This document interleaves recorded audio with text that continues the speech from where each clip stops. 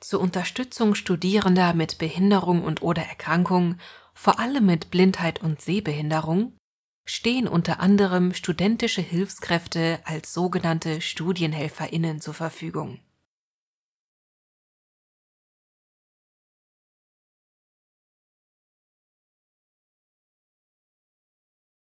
Zudem sind neun blinden- und sehbehindertengerecht adaptierte, ausgestattete PC-Arbeitsplätze vorhanden.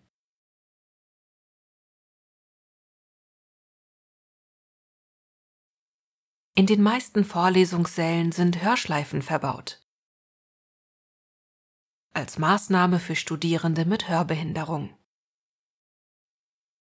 Ergänzend verleiht die SBS auch kostenlos mobile Hörsysteme, die für Seminar- oder Gruppenräume ohne Hörmodifikationen einsetzbar sind